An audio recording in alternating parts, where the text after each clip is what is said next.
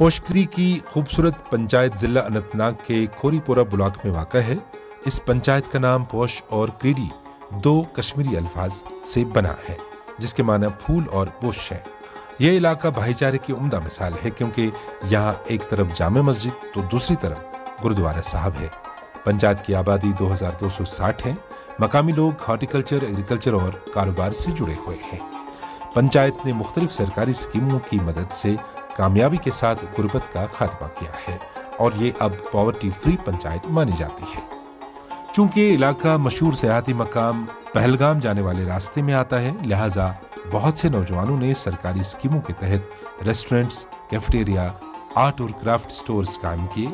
NRLM के औरतों के सेल्फ हेल्प ग्रुप कायम होने से माइक्रो यूनिट्स कायम हो सके। सेल्फ हेल्प ग्रुप्स बनने से हमारी जो खातन बहनें हैं वो फाइनेंशियली इंडिपेंडेंट हो गई। मकामी नौजवानों को महात्मा गांधी नरेगा से भी रोज़गार हासिल करने में मदद मिली। हम इस पंचायत हल्के में तकरीबन दो सौ बत्तीस जॉब कार्ड होल्डर है।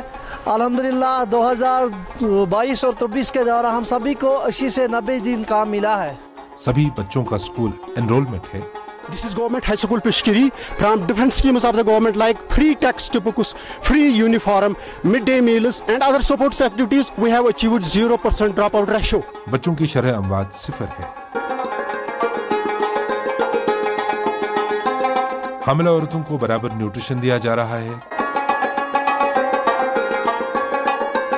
हाई डेंसिटी एप्पल फ़ार्मिंग किसान क्रेडिट कार्ड की वजह से हम फाइनेंशियली खुद मुख्तार हो गए।